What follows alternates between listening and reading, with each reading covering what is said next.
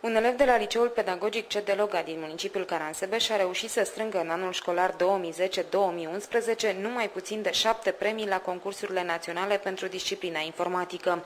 Elevul Vlad Velici, din clasa 11 a Științele Naturii, este pregătit de profesorul Codrin Negoiță. Vlad Velici a obținut locul întâi la concursul IT Fest din București, locul 2 la concursul Studit Timișoara și locul întâi la concursul Explorit din Bacău. Elevul a participat numai în prima jumătate a lunii mai la trei concursuri la Bancă și București. Vlad Verici ne-a declarat că îi place competiția și preocuparea pentru calculatoare îl face să opteze la finalul clasei a 12 pentru învățământul superior în domeniul informaticii. Cred că mai de mult te descoperi pasiunea pentru calculatoare, nu? Da. De când așa? De în clasa 6 am început să programez.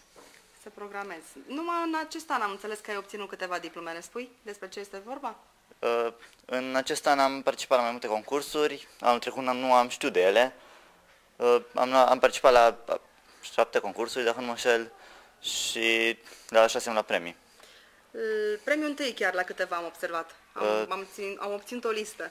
Ne poți spune care au fost mai grele, care au fost mai importante pentru tine? Uh, Cel mai important a fost Infometrics din București. Uh, A fost faza națională al unui concurs internațional. Cine, cine te ajută pe tine în pregătire?